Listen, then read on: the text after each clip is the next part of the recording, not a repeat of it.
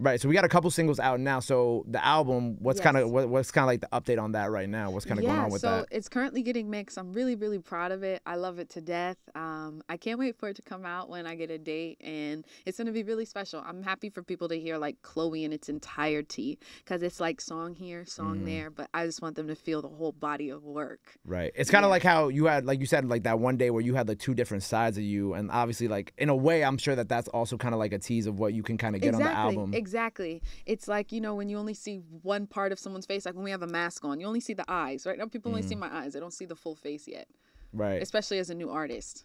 I love that. So the album is mixed. It's it's getting mixed right now. Yes. So it's done. It's mixed. Mhm. We just gotta wait and see what happens. Yes. Hopefully soon. Yes.